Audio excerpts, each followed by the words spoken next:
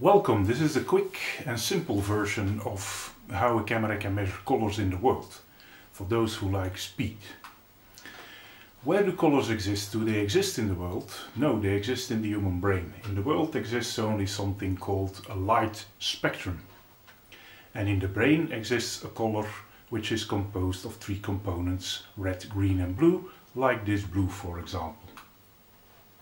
So if the color happens in the brain, you can wonder how can a camera on Earth know what's happening in your brain? It also doesn't need to know, because the only thing it needs to know is measure the three values it should have to control the intensities of three pixels in your display. A red, a green and a blue pixel, so that it looks like the blue you see in the real world object. So for example, you can make a yellow although there is no yellow in the three different pixels of the display. But if you make blue 0, so you switch it off, and you make red equal to green, then it looks like the eye, the eye is fooled into seeing a yellow color. So what is a light spectrum? All around us are waves of light, of electromagnetic energy with different wavelengths. And the short ones look bluish, and the longer they become, the more reddish they happen to look to our eyes, because that's how the eyes work. So for example, here you have the spectrum of a lemon. You see all the different kind of wavelengths here, and the intensity, the amount of energy in it, will be the height of each different wavelength. So in billions of billions of photons, but let's say for simplicity, there's two photons in the red waves flying around us and into our eye, there's three in the orange, four in the yellow and so on. Here we have a lemon. It has mostly reds and a little bit greens, no blues, and that will make the, the lemon look yellow. Actually, this spectrum from the object towards the camera, the light that travels from the lemon towards the camera is the one that matters, but it's composed of two different spectrums which the photographer can control, namely a lamp spectrum and the object spectrum. I made it simple here, I made the lamp perfect, that has the same amount of energy in all the different waves. And we have our lemon again. And how do we get the spectrum that travels to the camera? Well, the lemon gets a certain amount of light, 100%, absorbs 20%, reflects only 80% further to the camera, and so the result to the camera is 80%. The same here, if you have 100 times, for example, 70%, you will get 70% of this wavelength. And that will be the total spectrum. But if you change your light and you put in more blue and less red, you will get here, of course, more blue and less red. So that's the important thing to know about spectra. If you have objects that have a specific own color, like for example this yellow mushroom, make sure you put some yellow light on it so that the yellow of the mushroom can come out of the picture very nicely. Or if you have a red steak, take some red in the light. So, first, how does our eye see these colors? We have three different kind of cone cells in our retina. They're blue, green and red sensitive. And actually, one cone by itself doesn't see much difference between all the different lights. It has a sensitivity which depends on the wavelength. So here we have two photons of this kind of red wavelength, 650, and the sensitivity of the curve here is 0.2 of the red curve. So we get the sensitivity for these two photons of 2 times 0.2.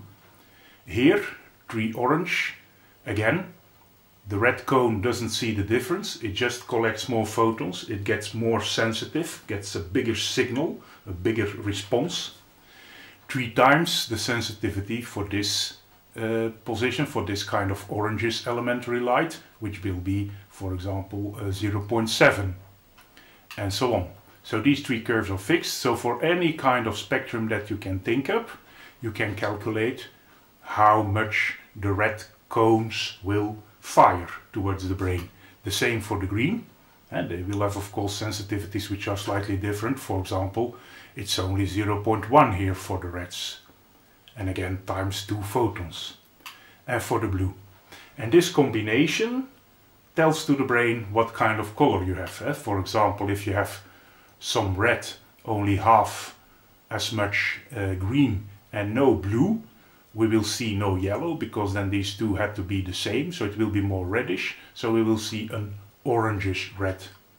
So with these combinations of values between 0 and 1, we can make all the colors in the world, or approximately all the colors. And we can put them in a cube with the red, the green, and in the third dimension in, into the screen, the blue light. However, cameras, if you make any camera, it is not easy and also not necessary, as you can see in the longer videos, I explain in much detail why. Any camera will get these filters, for example. And then you see instead of measuring the green, it is measuring the blue-greens. Uh, it's kind of looking at the world like, say, another animal like a bird. It also sees totally different colors.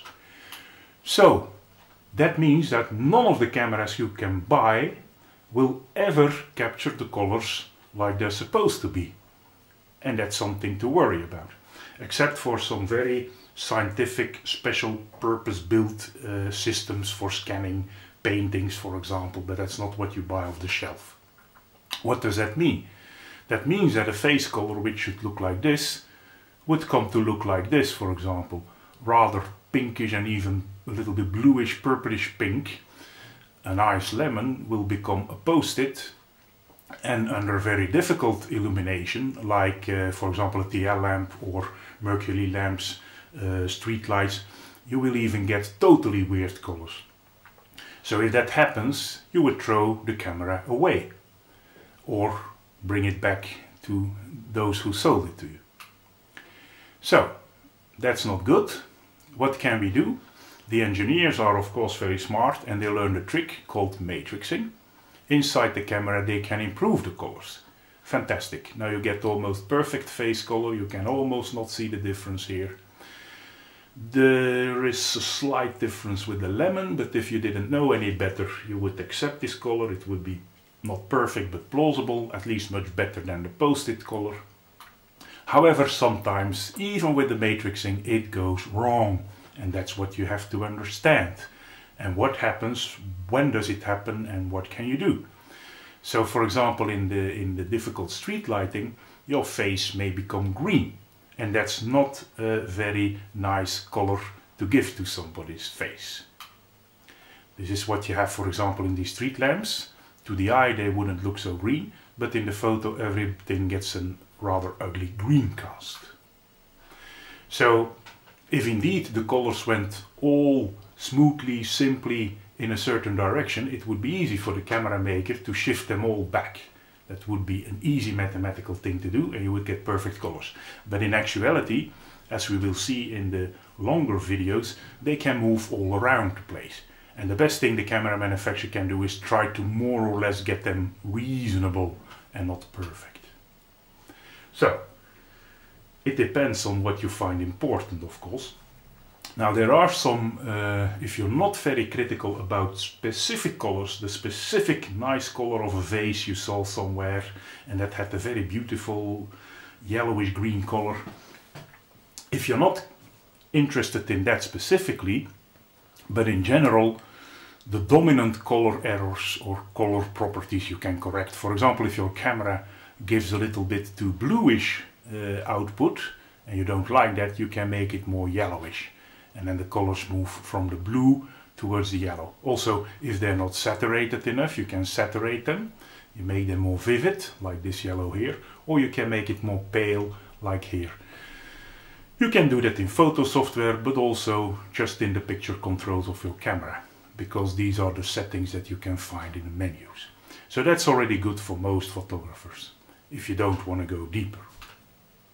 Okay, so the conclusion is camera manufacturers can make sure that the capture colors are plausible, they're not that bad, but they're certainly never really good perfect colors. There are errors. So mind, be mindful of it. And what can you do then? Color is somewhat of a tough cookie to correct it, but if you watch the other more detailed videos, you will learn how to handle it. I leave it at this. See you guys And uh, if you like it, either go to one of the other videos or subscribe and then you can get notifications of all the videos that I will make regularly and you will learn a lot of things about photography, how to compose your picture to have the most interesting composition of objects and regions and how to do lighting and so on and so forth. And of course all your friends who like it, tell them about the channel and I hope to see you again. Thanks for watching, bye guys.